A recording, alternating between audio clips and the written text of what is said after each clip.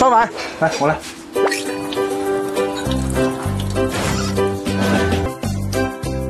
如果人人都像月月这样，大家又怎会反感明星蹭饭？好巧不巧，岳云鹏和李斯丹妮去素人家蹭饭，正好遇到大家在包饺子。一听这话，他就迈不动脚了。岳云鹏还在未能吃到饺子沾沾自喜时，男主人却因为来的人太多，有些担心，或许是害怕到手的饺子飞走。小月月赶紧发出邀请：“我们可以跟您留下一顿饭的回忆吗？”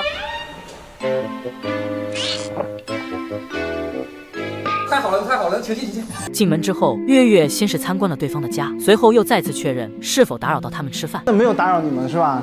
没有没有，我们觉得非常开心。您坐坐坐坐，坐。确认过对方是真心邀请他们吃饭后，月月两人才敢落座，并且这顿饺子，岳云鹏也没想着白吃。看到阿姨在厨房忙活，他也跑去帮着一起包。看到小朋友吃的满嘴都是，月月也没嫌弃，而是拿起纸巾来给宝宝擦嘴。等到饺子包的差不多了，他又去厨房张罗煮饺子。一整套流程下来，小月月的身上已经变得脏兮兮。哥，你刚才掉面缸里去了咋的？嗯，还包的饺子，显得我干活了。特别朴实的，感觉这一家四口都没动，就你动了，是吧？看得出来，岳云鹏是真卖。在另一档节目中，岳云鹏有幸当了一次捏脚师，看到有阿姨来照顾生意，岳云鹏赶紧热情招待。阿姨，您的任务就是享受，就是开心，享受，啥也不用干。您认识他是谁吗？认识呀。谁呀？岳云鹏呀。这个呢？或许是担心面对镜头和这么多人，阿姨会觉得不好意思。岳云鹏活跃气氛的同时，手上捏脚的动作始终没停下。察觉到阿姨在按摩时，叔叔不见了，月月赶紧请来叔叔一起聊天。听说对方想听五环，岳云鹏丝毫没犹豫的开场。他可爱唱五环了。啊，五环，你比四环多一环。啊，你比刘欢害羞，我害羞了，我我害羞了，我第一回捏着脚唱这个歌。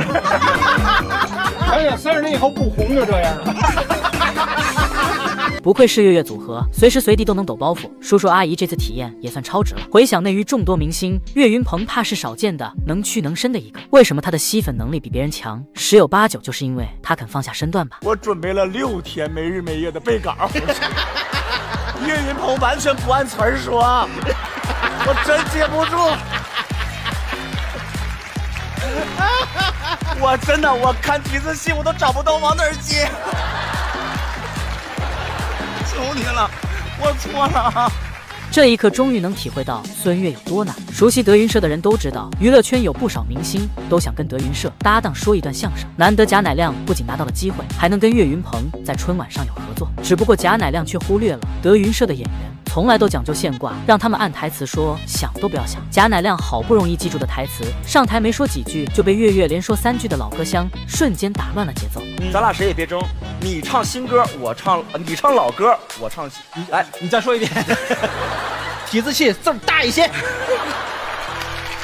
看得出来，小月月多少有点故意，一句话乱节奏。贾乃亮肉眼可见的不知所措。作为资深老演员，岳云鹏非但没帮他找补，反而带头笑不停，敢在春晚的舞台上临时砸挂。这或许也是观众们愿意为岳云鹏买单的原因。只是委屈了第一次登台的贾乃亮，就说惹谁都别惹说相声的，偏偏就有明星不相信，吴京好心去给老郭捧场，结果儿子差点成了别人的。给你看张照片，都吓死你！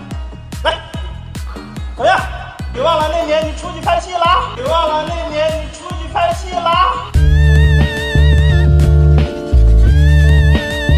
占便宜这事一定少不了德云社，尤其是女明星，像杨幂这种伶牙俐齿的都不是对手。他们都知道我跟老郭关系真的非常好，私底下这事儿能说吗？能说，能说，能说，什么都能说，都能说，都说了啊。说吧，跟他们俩搭档好，还是跟于谦搭档好？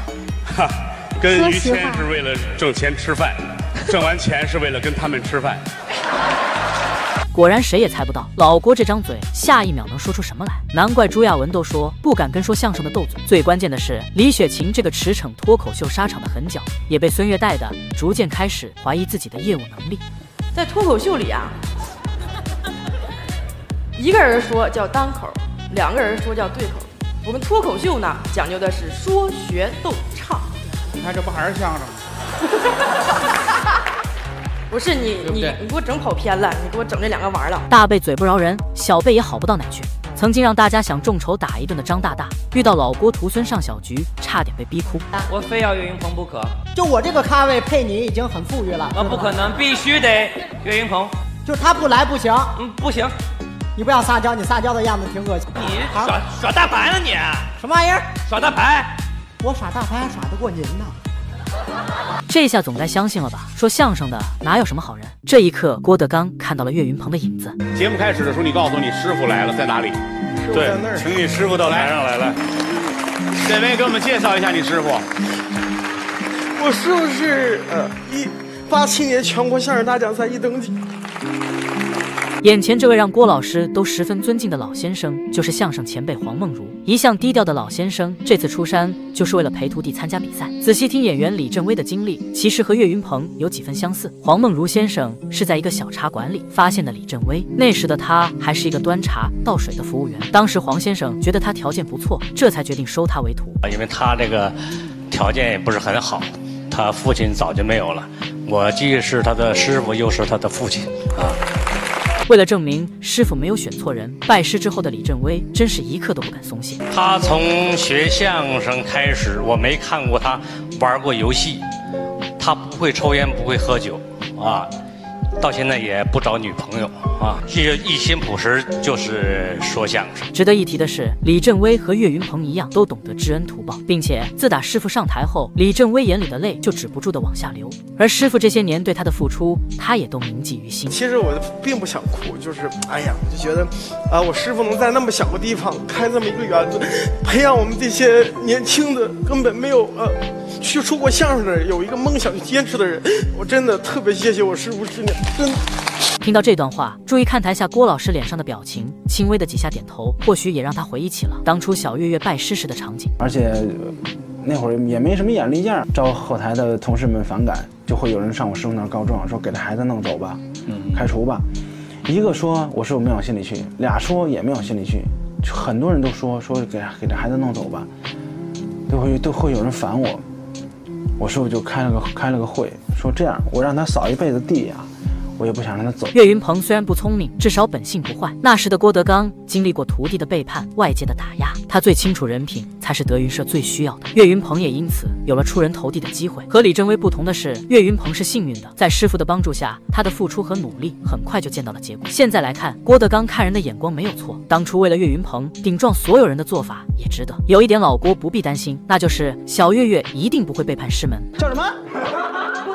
我死都不会离开我师傅。仔细想想，黄梦如先生的经历，何尝不是这些年郭德纲在做的事情？